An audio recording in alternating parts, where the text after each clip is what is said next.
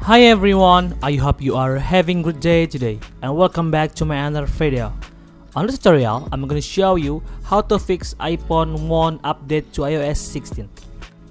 Apple has released iOS 16, the latest update for the iPhone. The new operating system brings with it a range of change, mostly focused on personalization from redesign notification to the ability to delete and edit message. As you know, my iPhone cannot update to iOS 16 because not showing on this device and stuck on iOS 15. So how can I get the update? Okay, follow this tutorial. Please check this out. First of all, please open your Safari browser and then open betaprofiles.dev. Then find and download iOS 16 beta profiles and click install profile. Then open your settings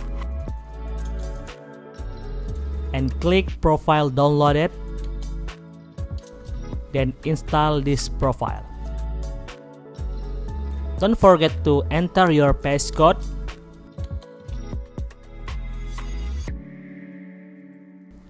and restart your iPhone. Please wait.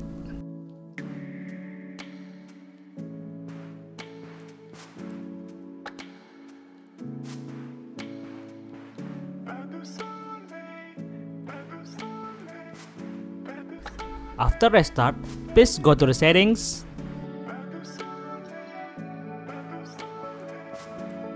general, and software update.